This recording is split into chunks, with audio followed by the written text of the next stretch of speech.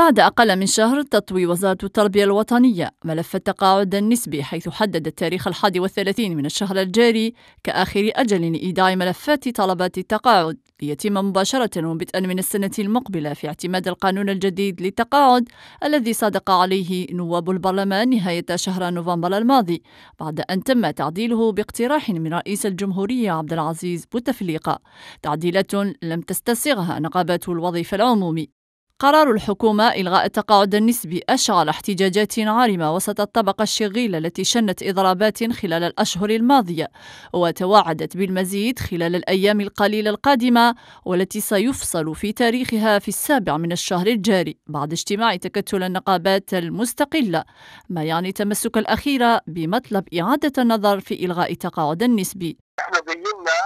يعني أهم السلبيات التي تنجر من اتخاذ هذا القرار دون دراسة دقيقة ودون أعطاء الوقت الكافي